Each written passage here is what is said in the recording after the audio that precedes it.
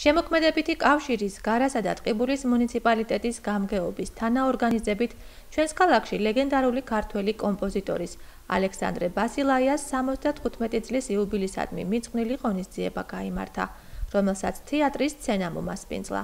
პროექტის სახელწოდებით სინათლე ჩვენს ფანჯრებში საქველმოქმედო ხასიათს ატარებდა, რომელშიც აქტიურად იყო ჩართული კერძო სექტორიც.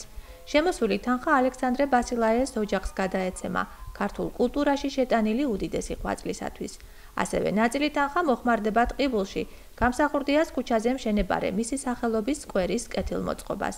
კონცერტი, რომელიც ტყიბულელი მაყურებლისათვის დაიგეგმა მაყვალა ქაცრაშვილის სახელობის ხელოვნების სკოლის წარჩინებულმა მოსწავლეებმა გახსნეს. გია ყანჩელისა და დავით ტურიაშვილის კომპოზიციები თანამედროვე ჯაზის ელემენტებით როიალზე მარიამ საკანდელიძემ, კესო ფანჩულიძემ და კონსტანტინე არსენიძემ შეასრულეს.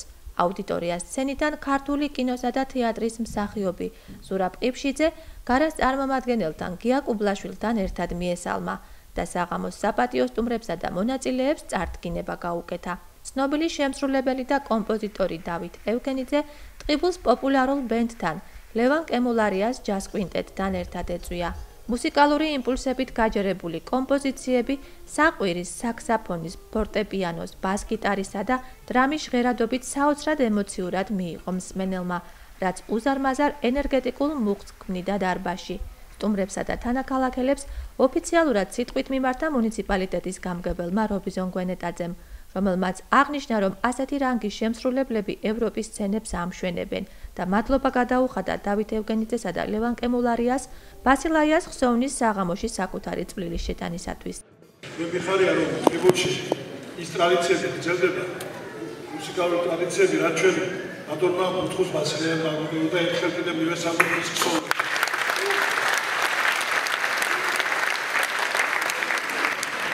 საპატიცემულო კაკეთე საზეიმო საღამო და კიდევ ერთხელ ბატონ დავით ევგენიჩის და ბატონ ლევან გებულარიას მისამართით რომ ეს შევიწყო ხელი რომ ესეთი საზეიმო საღამო ყოფილიყო. ესეთი რანგის სტუმრები ესეთი შემსრულებლები ესეთი მუსიკოსები საქართველოს არა ევროპის ყველა სცენას ამშვენებდა და ამშვენებს კიდეც. მიხარია რომ ეს დარბაზი გადავსებულია. და მიხარია რომ ამ დარბაზის უდიდესი ნაწილი ბავშვები არის. და ისინი ეცერებიან დღეს ჯაზის სამყაროს და უღებესი მადლობა და კიდე კითხავთ ბრძანების უფრო დავით ევგენიძე ერთ-ერთი იმ წარმატებული მუსიკოსთაგანია, რომლებიც პოპულარიზებას უწევენ თანამედროვე ქართული მუსიკის მრავალფეროვნებას.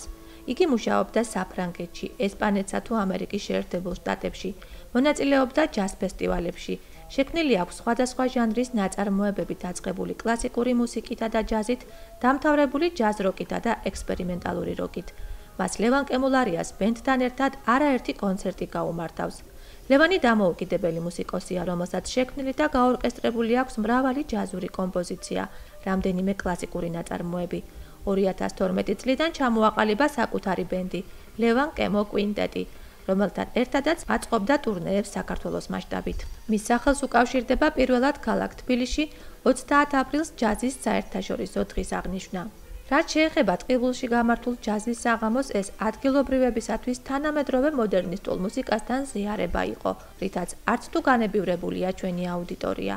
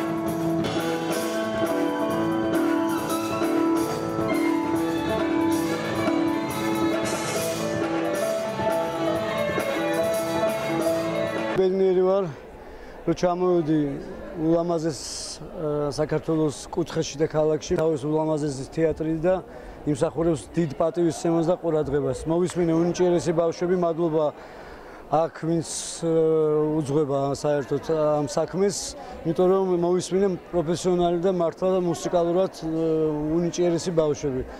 ნახე ის პუბლიკა, რომელიც სანატრელია სოფლიოს ყველა ქვეყანაში მაგ დაკრული და თითეული ნიუანსი ესმოდათ, ერთად ვიყავით, რაც ყველაზე მნიშვნელოვანია და უბედნიერესი ვარ რომ მე მაგ საშუალება დღეს აი ამ ადამიანების წინ დამეკრა და მიმიღო მონაწილეობა.